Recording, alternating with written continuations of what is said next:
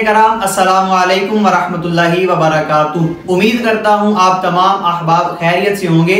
सवाल ये है कि आजकल सर्दी के मौसम में उमूमन मसाजिद के अंदर किबला की जानब हीटर वगैरह रखे होते हैं और उनकी तरफ़ मुँह करके नमाज़ पढ़ना ये शरान कैसा है? हालाँकि वो हीटर सामने चल रहे होते हैं तो क्या उनके चलते हुए उनकी तरफ़ मुँह करके नमाज़ पढ़ सकते हैं? तो सवाल यकीनन अहम है कि सर्दियों के अंदर ऐसा होता है कि मसाजिद के अंदर या अक्सर घरों के अंदर भी जब लोग नमाज़ अदा करते हैं तो सामने हीटर चल रहे होते हैं। तो क्या उन हीटरों की तरफ़ मुँह करके नमाज़ अदा कर सकते हैं?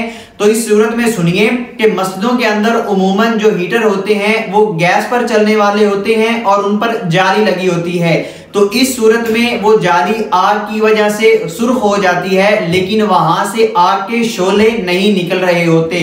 और दूसरी बात ये कि वहाँ पर अंगारे भी नहीं होते और ना ही आग जो है वो भड़कती है, जैसा कि उमूमन चूल्हे वगैरह में या जिस तरह मजूसी लोग इबादत करते वक्त आग जलाते हैं, वैसी आग नहीं होती। वो सिर्फ़ गैस पर चलने वाले हीटर होते हैं और उन पर जो जाली लगी होती है वो उस आग की वजह से रोशन होती है तो अब अगर ऐसे हीटर मौजूद हो तो उनकी तरफ़ अगर मुँह करके कोई शख्स नमाज़ अदा करता है तो इसमें कोई हर्ज नहीं है। क्योंकि पहली बात तो यह है कि वहाँ आग की इबादत की नीयत से आग नहीं जलाई जाती, और दूसरी बात यह कि वहाँ पर मजूसियों की मुशाबत भी नहीं होती। तो इन चीज़ों के ना होने की वजह से बिल्कुल उस तरफ़ मुँह करके नमाज़ भी पढ़ सकते हैं, और उनको अपने सामने जलाकर रख भी सकते हैं। तो उम्मीद करता हूँ कि आपको ये सवाल और इसका जवाब समझ में आ गया होगा।